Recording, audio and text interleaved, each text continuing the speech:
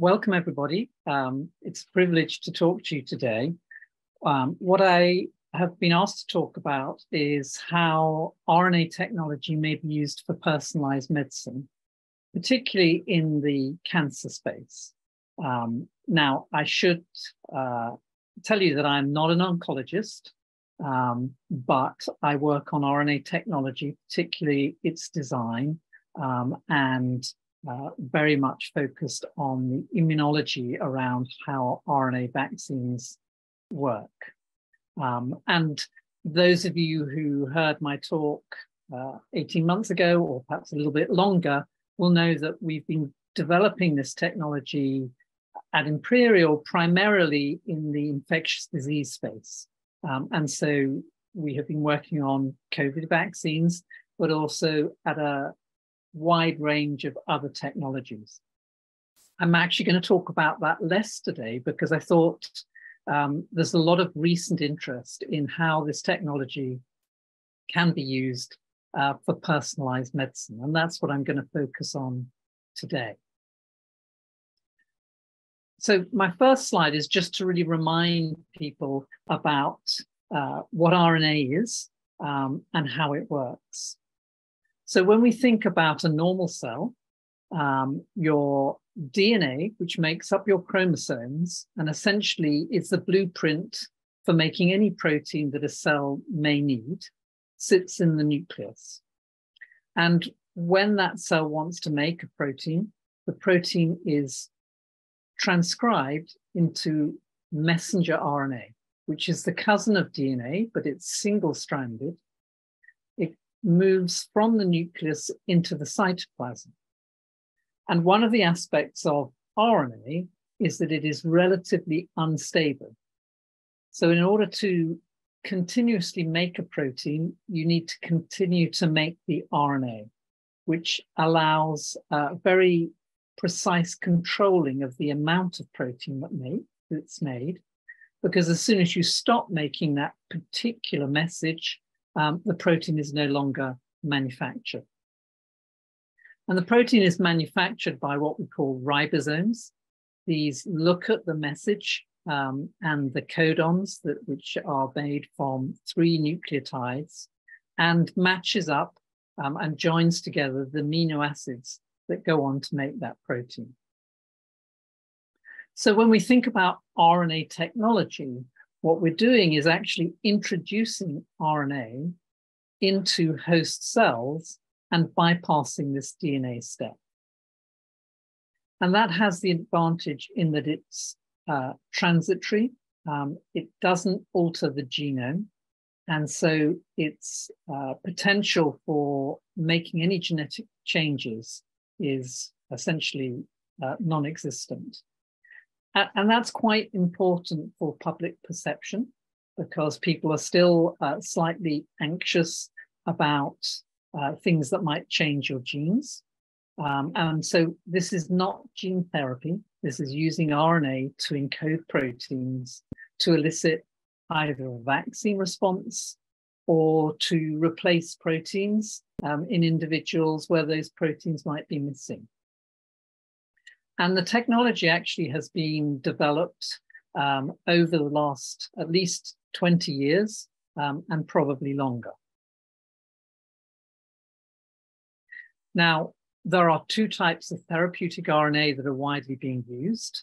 One is uh, conventional RNA, which is essentially looking very much at that messenger RNA, the same type of uh, structure that the cell produces, manufacturing it uh, externally. And then because the RNA is very fragile, it needs to be essentially delivered in small, very sophisticated, um, what we call lipid nanoparticles, which are uh, uh, nanometer size lipid droplets. So about the size of a virus.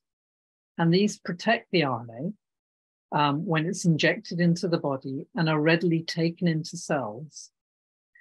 This releases the RNA cargo, and then whatever that RNA is encoding is expressed as a protein, um, either uh, on the surface or secreted from the cells, but also, as I will go into in a little bit more, presented as peptides.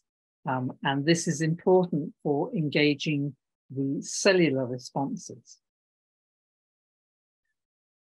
We at Imperial also work on what's called self-amplifying RNA. This is um, a, a sort of next generation approach where it also encodes genes that can amplify the RNA within a cell. And that um, accelerates the protein production and can uh, give a, a, more pronounced immune response, particularly the cellular immune response. And so that provides some benefit for infectious disease vaccines, but also for uh, vaccines against tumors. The really nice uh, aspect of this technology is that it's relatively fast to produce.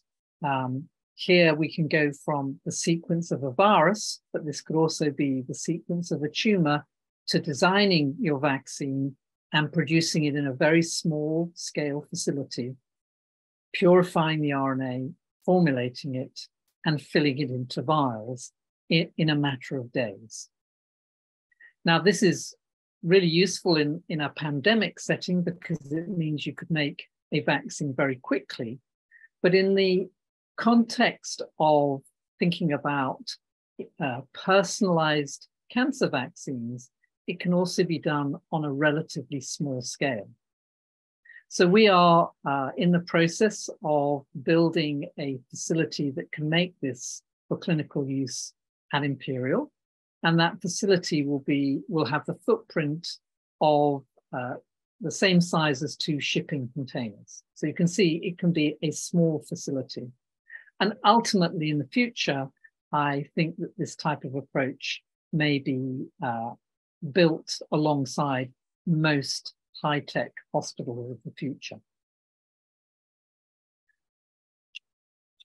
This means that rather than having to have a very large manufacturing facility, you can make small uh, aliquots of vaccines for individual patients. How does it work? Well, once it's been manufactured and formulated, put into the vial, um, and shipped to the clinical setting, essentially it's injected most often into the muscle, um, where it's then expressed the proteins are manufactured by the cells themselves, and they can then induce an immune response that hopefully has a therapeutic effect. So when we think about uh, tumors, tumors are not the same as infectious disease pathogens. Essentially, when you have a normal cell, that normal cell is always making proteins, and some of those proteins are disassembled within that cell and expressed on what we call MHC uh, molecules. And this is a way that cells use to present their own self antigens to the immune system to say that essentially they are only making what is part of you. But in the context of a tumor, you uh, may have a mutation either in the DNA or a change in your RNA that means one or more of those amino acids, but most often it may be a single amino acid, is changed from the normal sequence. And when that's changed, if it uh, looks sufficiently different when it's presented on the surface, it can be recognized by the immune system. And it's thought that a lot of cancerous cells are routinely deleted by your immune system. And that's why uh, people who are immunosuppressed um, will often be much more prone to developing tumors because those tumors would normally uh, have been deleted by the immune system. However, more aggressive tumors uh, may go unrecognized by the immune system, and that's when a, a tumor may actually grow and uh, essentially grow without control. So when we think of this pathway of showing self antigens and trying to recognize foreign antigens, what uh, I hope I'm articulating is that healthy cells are always expressing their own self antigens. Your immune system is seeing those and saying, that's all fine. I've seen those before. That's part of you. I don't need to make an immune response. If you have an infection with a bacteria or a virus, of course, all those proteins look completely different. And so your immune system is, is primed to recognize what we call our non self antigens. And then you get elicit an immune response, and that can le- lead to the deletion of viral or bacterially infected cells. Now, it's a little bit more complex in the uh, case of cancerous cells. Some cancerous cells, in fact, are just making the same, same types of proteins as normal cells, but in a, a higher level of abundance. So, in this context, these are very difficult to target by the immune system. However, specific cancer cells may make those mutations, um, and those mutations have the potential to be recognized by the immune system. When we think about this in the context of tumor antigens, there are two main approaches that people are focusing on. The first is trying to recognize what we call shared neoantigens, so new antigens that are common across different cancer patients um, and not present in your normal genome, in your normal DNA. Um, these are really uh, the most useful because where they can be identified, they would allow one to, uh, to develop a pan uh, cancer vaccine. So, for example, a lot of work is going ahead in the context of identifying common mutations that might be associated, for example, with prostate cancer in order to develop a pan prostate cancer vaccine. However, these are rare um, and quite hard to target. And most cancers actually express neoantigens that are completely different from patient to patient. And this is why people have been very uh, interested and excited about being able to develop personalized neoantigen targeting vaccines. In the past, this has been difficult to do because the technology has not been there to develop personalized vaccines fast enough in order to have clinical utility. And it's the advent of RNA technology, the ability to make things at speed and at small scale, that's now allowing this field to uh, take off and be accelerated. So, how do you identify these uh, neoantigens? Well, it is a little bit like looking for a needle in a haystack. Essentially, it requires uh, a sample of the tumor to be excised.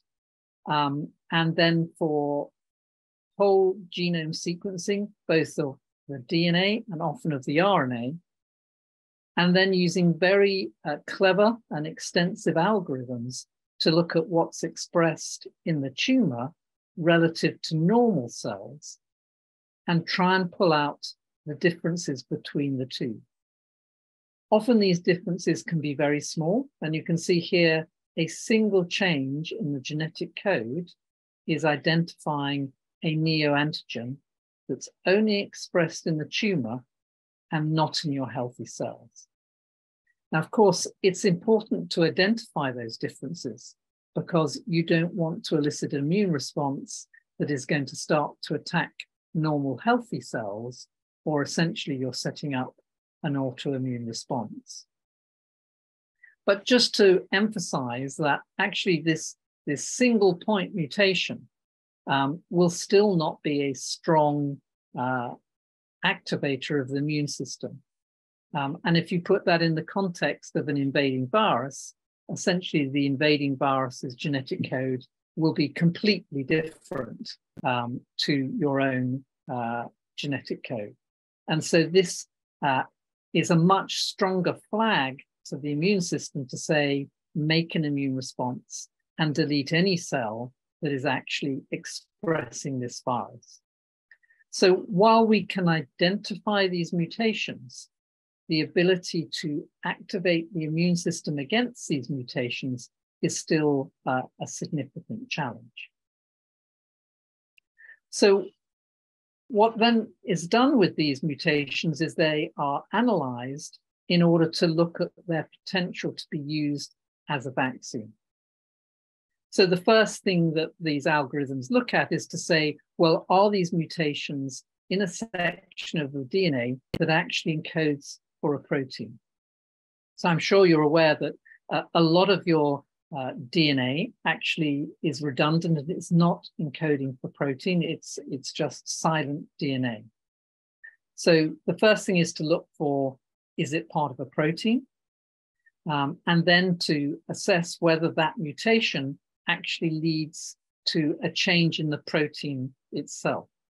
Because you can have changes in the DNA that still code for uh, the same protein, and essentially, the algorithm is looking to see whether it's encoding for a mutated protein. And then the third level is to say, well, how likely is it that the immune system is going to be able to recognize that change? and so uh, these very extensive algorithms are trying to come up with neoantigens that fit uh, these three criteria. Um, and depending on the individual and the type of tumor that they have, there may be more or less of these. But because these are still very like your own proteins, uh, most of these vaccine approaches also require us to uh, take the brakes off the immune response. So T cells, particularly killer T cells, um, are very carefully controlled to ensure that you're still not recognizing your own cellular proteins. Because obviously, you don't want that to happen routinely um, to prevent having autoimmune uh, responses to your own cells. And so there are a lot of what we call checkpoints, uh, which are cellular molecules. This is only one of them, uh, PD1, um, that essentially is trying to limit the reactivity of cells that are recognizing your own proteins. Um, and because the mutated proteins may only differ by uh, a single amino acid, in order to wake up these cells, the vaccines are often delivered together with these, with what we call checkpoint inhibitors, that essentially take the brakes off the immune system and allow the uh, T cells to then respond against things that are slightly different from self, but not uh, as far in terms of difference as bacterial or viral pathogens that might have invaded those cells. So RNA technology helps because of the speed um, it can be done in a, in a matter of days in order to release the antigens, the vaccines, and get them into clinical practice.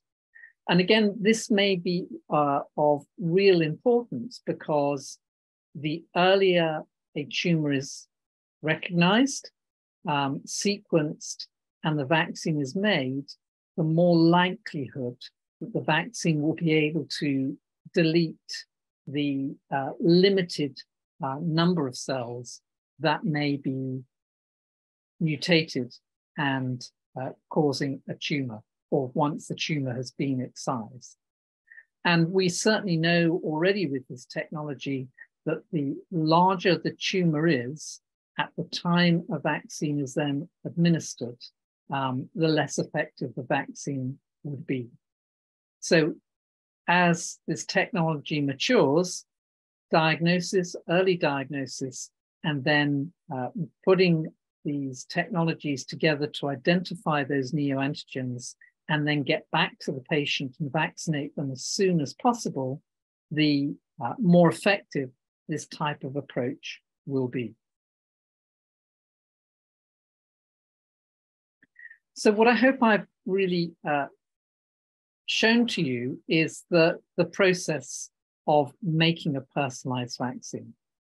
It goes from excising the tumor, comparing the tumor DNA um, and RNA to normal tissue, doing uh, a, a lot of bioinformatics in order to understand where those mutations are and whether those mutations are leading to the production of, uh, of aberrant proteins, and then seeing if they can be expressed in these surface uh, receptors on the cells that allow them to be recognized by the immune system.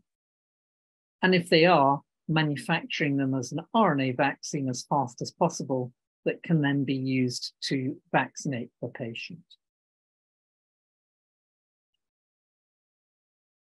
So when the RNA is then used to vaccinate a patient, it's taken up by uh, cells that then express the protein within the cell, and the protein is then processed to be loaded onto these MHC class 1 and class 2 uh, receptors that present the peptides um, related to the tumor to the T cells, whether they're, whether they're what we call CD4 T cells and CD8 T cells. Um, CD8 T cells being the cells that can kill and recognize tumors. And so what one is doing with the vaccine is really loading up cells in the context of checkpoint inhibitors um, and activators of the immune system to accelerate the body's ability to generate T cells that could recognize that tumor. Um, so aggressively, you're trying to maximize the chances of the immune system raising a cellular response against the tumor so that it can then go back and eliminate cells that are expressing those mutated proteins. So the big question is, does it work? Um, and the answer is yes, but it's still very early days. Um, the number of number of studies looking at personalized uh, vaccines in this space are still relatively small and relatively early. But this uh, is one that I would like to walk you through just a few um, snippets of how it can work. Um, so this is a paper very recently published in Nature. Um, it came out uh, in May, and it's looking at personalized RNA neoantigen vaccines uh, against uh, pancreatic cancer. And for those of you who may not be uh, familiar with pancreatic cancer, it is a very nasty cancer. Um, it has a very high mortality rate. So, with uh, best practice, which is removing the pancreas and uh, giving chemotherapy, nearly 80% of those patients will have recurrence of disease within 40 months. And their overall five year survival rate is, is less than 30%. So you can see that this is a very big challenge um, in order to develop a personalized vaccine that might have uh, success in this space. Um, and of course, in this context, because the patients are having the tumor excised as early as possible, what you're trying to do with a vaccine is generate an immune response that is going to be active at preventing disease recurrence rather than eliminating the existing tumor. So how successful was this and what did it look like? Well, this is a, a, a nice slide showing the approach um, of, again, taking the tumor, looking for tumor specific antigens using these very uh, clever algorithms to identify those antigens, or those neoantigens, and then manufacturing the RNA vaccine. So this was a small trial. They originally recruited 32 subjects. Um, they all had to have their uh, tumor uh, had to have been resected with uh, no uh, borderline unresectable material, no advanced or metastatic disease, um, and no other neoantigen therapy. And in order to be in the trial, this uh, extensive algorithm had to identify at least five or more neoantigens from the tumor. So that meant that going from an initial 32 subjects, um, they were only able to identify 16 subjects that had five or more neoantigens. The approach of treating these uh, individuals was uh, relatively aggressive in that they had surgery. They then had one of these uh, checkpoint inhibitors, an antibody that essentially blocks what we call PDL1, that is taking the brakes off the immune system. And then you can see that they get uh, a number of priming doses of the vaccine. So uh, many of you will have had RNA vaccines, um, and uh, some of you will have felt a bit rough after an RNA vaccine, um, and you're only getting maybe a booster uh, once or twice a year these individuals are getting a large number of shots over a very short time period. They then go on to standard chemotherapy and then have a booster uh, towards the end of the approach. So, what did they see in this study? Well, they saw that um, eight of the 16 individuals responded to their vaccines.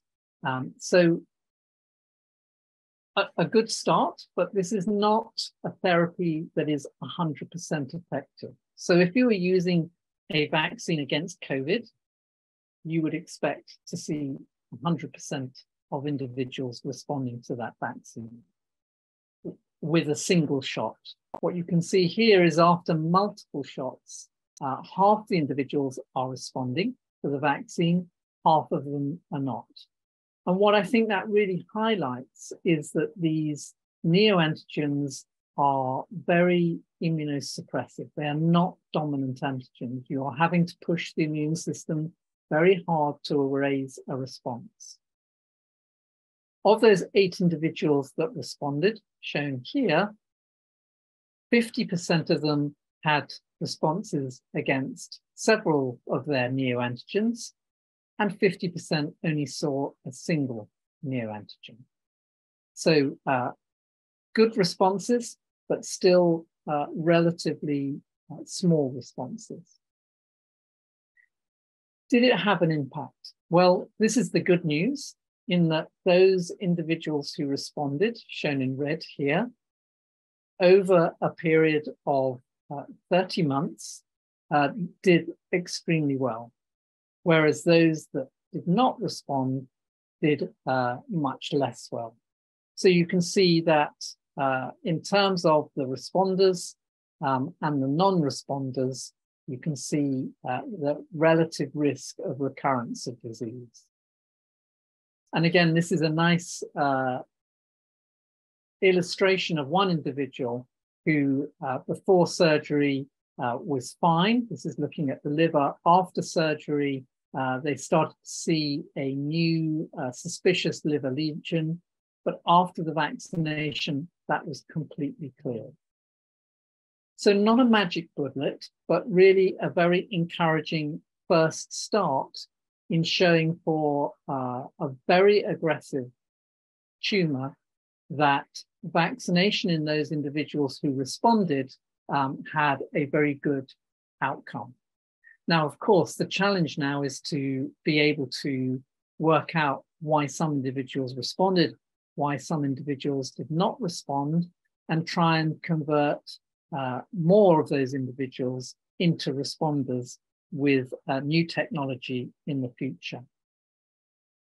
now, one of the things that I think is very much going to help with this technology, um, and one of the uh, benefits of uh, technology that has been widely uh, and quite in a quite alarming way um, raised some caution, is the advent of uh, artificial intelligence.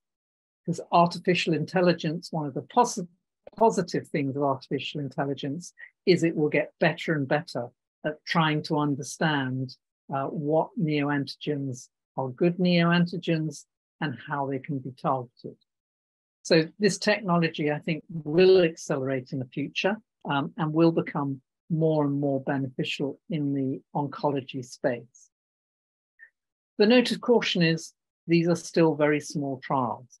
Um, and whenever people start talking about these, um, people imagine that they can all if they develop a cancer, start to have personalized medicine today. We are not there yet.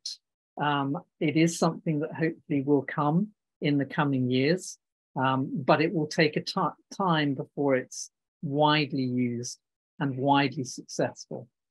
So currently, it's bringing new technology and new tools to conventional cancer therapy, um, and it is of, uh, of great promise.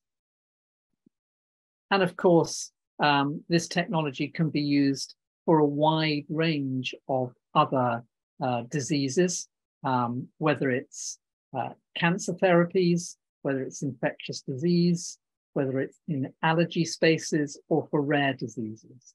So the technology has arrived. It's still in uh, the a relatively early stage of development, but I suspect over the coming years, we will see it being used more and more widely. And I will stop there.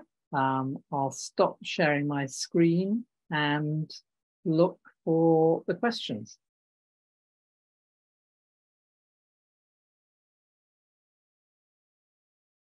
Alan, I think you're on mute. There, there we are. I think I found the button. Am I unmuted now? Yes. Great. Okay. Thank you.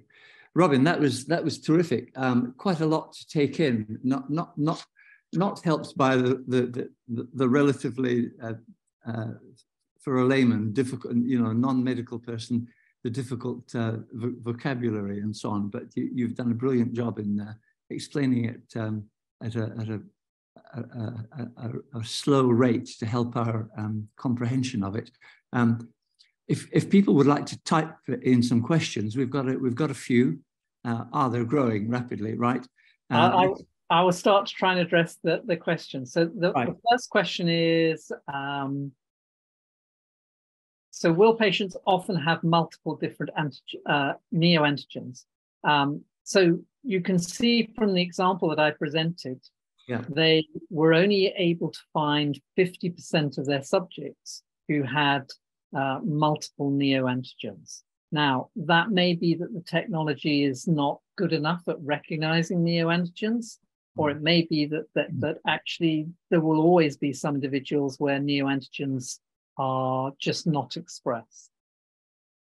The next question is Do different cancers have significantly different mutation rates?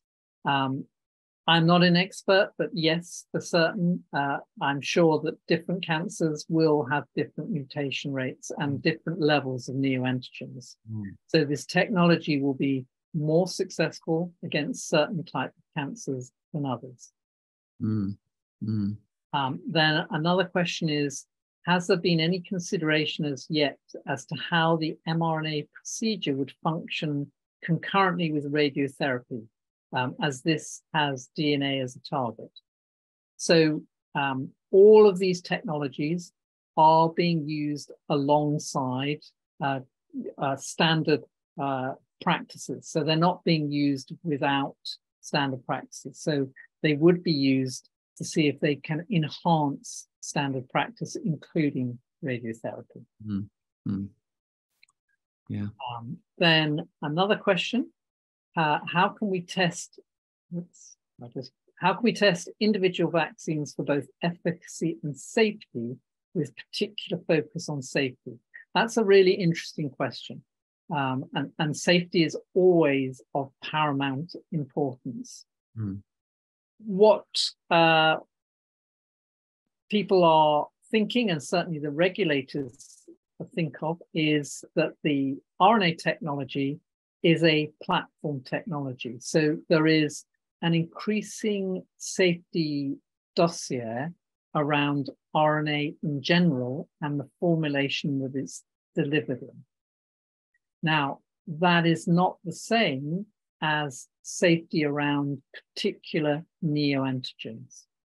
Now, obviously, it's important to uh, bear in mind that the risk benefit um, calculation for somebody with terminal cancer is very different than the risk benefit ratio for somebody that you're giving a preventative vaccine to in the context of an infectious disease. Mm. So the, the, the you know the safety balance is quite different there. And that's not to say that people are doing something that's unsafe. But if you uh, if I draw a, an extreme example, or two extreme examples. Obviously, in the context of a preventative vaccine, it has to be extremely safe. In the context of a life limiting uh, cancer treatment, in the first instance, one is obviously looking to see whether you can cure or uh, allow those individuals to go into remission and actually thinking about the safety of that vaccine over a multi year period would be a very nice position to be in. But often one is prolonging life for a, a period of months or years, um, and therefore long term safety is uh, less of the focus rather than acute safety. I'm not sure if I've done justice to that question, but safety is important. Um, next question Do hmm. we know how much protein will be produced in any individual? Uh, with traditional protein or whole pathogen vaccines, the amount produced is known with tolerances. But with RNA, how well is the variability of protein production across individuals? That's a really nice question as well. Um, and uh, we, we don't know entirely how that will vary between individual to individual. Um, but the amount of protein that's being made in the context of a vaccine is still uh, relatively small. Um, and so those variances, um, certainly in the context of COVID vaccines, um, although those variances likely exist, we see that all individuals respond and have a similar safety profile. That may be uh, much more difficult to assess for neoantigens um, because one is not measuring the amount of protein that's being expressed, but the immune response to those neoantigens. Mm-hmm. Um, next question Do you think that mRNA vaccines may be applicable for avian flu? Absolutely. Um, we are looking at that. Many other people are looking at that. The advantage of RNA technology is we don't exactly know what avian flu will look like in terms of the changes that may need to be made for it to become uh, pathogenic and transmissible from human to human. The advantage of the RNA technology is as soon as that uh, well, if that does happen, one would be able to uh, look at that sequence and make it as an RNA vaccine uh, relatively quickly compared to other types of uh, vaccine technology. Mm-hmm. Then the, the last question, and the next question I can see um, is, are the lipid nanoparticles targeting antigen presenting cells with neoantigens already present and essentially upregulating membrane expression? Or is it non-specific in targeting somatic cells? That's another lovely question. Um, yes, uh, they, we are trying to target them to antigen presenting cells. Um, we certainly know that if it's injected into the muscle, um, some of those uh, lipid nanoparticles get to uh, what we call the draining lymph node um, and target those antigen presenting cells. But there's probably, um, again, a lot more work that can be done to uh, make that targeting even more precise um, and make the vaccines more potent. Uh, then another question. Uh, for a cancer that doesn't produce a tumor, e.g. blood cancers, is there an alternative to comparing tumor cells with normal cells? Okay, so um, there I'm probably talking a little bit out of my comfort zone, um, but blood cancer cells, again, do have markers on them, which may uh, be similar to other cells, but are expressed at higher levels. So certainly we have antibodies, for example, that have been useful in blood cancer therapies. Um, those could be uh, encoded by RNA vaccines or RNA vaccines might work in that space. But I probably don't have the expertise to give a really good answer to that. Hmm. Um, can this technology be used for animal vaccine production? Yes. Um, we're already working with a, a couple of animal uh, vaccine uh, companies to look and see whether it can work in that space. One of the challenges there at the moment is these are still relatively expensive vaccines. Animal, animal vaccines usually have to cost pennies, and getting the cost of goods down to make them commercially viable is a mm. challenge right now, but hopefully something that can be solved in the future. Um, and then the next question is, can we use computational chemistry, biology to predict the specifics of the immune response uh, and then uh, particularly evaluate the safety and efficacy? Um, short answer is yes. Um, the longer answer is it, it's complicated. Um, and again, I think things like uh, artificial intelligence is going to make that uh, better and better. So that's one of the potential benefits of artificial intelligence um, and you know computer technology in general, things like machine learning. Mm. Uh, and that seems, I seem to have exhausted the questions. Right. Uh, am I still unmuted? I, I think you I, are. Robin, that was that was terrific. Thank you. C can I add an, another question verbally, if I may? Um, is is there any reason to suppose in advance that some types of cancer may not be amenable to the type of approach you've been describing using mRNA? So, I, I mean, I'm again, I'm not an expert oncologist, but I'm sure that there will be cancers that are harder to be to be tackled by this technology. Mm. The other thing that, that I have not touched upon is, of course, you can erase an immune response against tumors, but tumors themselves can be very uh, resistant to their elimination. Yeah. One of the reasons that they can be resistant to, to elimination is that actually things like the T cells that can can actually eliminate those tumors can't access or gain entry into the tumor itself in order to be able to uh, target them effectively. So this is why the tumor mass. This is why you know it's not a magic bullet. Mm. It's a technology again that that adds to the armory that we already have. Mm. Um, and so there are some things where it may work extremely well. Hmm. There are some things that there will be additional challenges that need to be overcome in order to be able to get the best out of this technology. Yes, yes. And, and I've, I've, I've taken the point along, along the way, I hope correctly, that uh, when it comes to designing um, mRNA treatments in the future, potentially to treat individual patients, each with an individual cancer, which has been sequenced, um, then that's a different kettle of fish, I, I imagine, markedly from uh, the sort of situation we had with COVID, where the object was to produce hundreds of liters of, yeah. of, of, vaccines, all to go into millions of arms, but the same the same vaccine. Yes, so they're, they're, they're two polar opposites. One, you're making the same thing, but mm. masses of it. Yeah. Um, and one of the challenges in COVID is this technology had never been made um, at a global scale.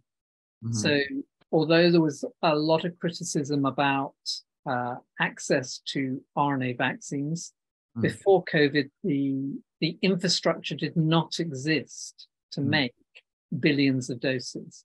Um, it is there now, but it can also be made on a very small scale. So you can make in you know the the, the size of a of a, a test tube um, enough vaccine for probably 100 individuals. So mm. in a hmm. very small tube, you can make enough vaccine for one individual. And that brings the cost down and makes it really very amenable to this individualized uh, approach. Yes, I, I had the, the, the, the, sort of mental image of um, the, the, the, the fact that preparing mRNA vaccine for, uh, for an individual patient and their individual cancer in the future sounds as if uh, you, you know, we've bypassed one difficult step of making the thing in large vats and in hundreds of liters quantities, but we've got the problem of having to um, uh, do a biopsy on the patient, uh, i.e. the patient's already presenting with a cancer, um, rather than a completely preventive treatment. And in addition, we've got the, the, the, the issue of then having to take a biopsy, sequence it, decide if it's cancerous and if it's an identifiable um, um, entity that can be treated, and then preparing the dose and so on. And all of that's yeah. going to take individual expertise by expert pairs of hands to, to, to carry out. Yes, that's a very good um, assumption. So, what what the piece that we have now is the the ability to make the vaccine itself quickly. Mm. The the challenges are still diagnosis. You know, diagnosing tumors very early. Um, that's that's challenging. Mm. Um, then identifying those neoantigens. I think that will get better and better um, with you know things like AI and other machine learning approaches. Um, and then having made it, it doesn't mean it's going to work um, in terms of you've got to wake up the immune system um, to yeah. recognize those. And you also have to, you know, working alongside conventional treatment, um, make sure that they can actually eliminate the tumor. So mm-hmm this is why it is very exciting technology. It is game changing, mm. but it doesn't mean that cancer is is cured and it's and job done. It's it's a new tool, um, and hopefully it will make things better. Yes, but but a, but a sharp, potentially a sharp spear, which if pointed and delivered in the right direction, could could be, as, as you've just said, a, a, a game changer, and and capable potentially of being expanded uh, greatly, as, as indeed the COVID delivery of vaccines was, but although not quite in the same, in the same way, with more detailed work in each individual patient's case. Absolutely. Right, have we run out of um, typed questions or has anyone added any? I don't see any more questions. So um, Robin, that was an absolutely super talk. Thank you so much. And I'm now going to ask everyone to unmute individually if they can because I can't see a box that lets me do it. So if, if folks would like to unmute, I'd like to thank Robin very much for, for an excellent talk, which he's given at pretty short notice of, of a couple of weeks or so. And um, I'm sure one that we've all greatly enjoyed, if that's entirely the right word, but, but very helpful in very rapidly changing technology. And we're most grateful to you, Robin. Thank you so much. And perhaps everyone would like to join me in thanking Robin in the usual Lots of applause. Thank you. Thank you. My pleasure. Thank you very much. Very good.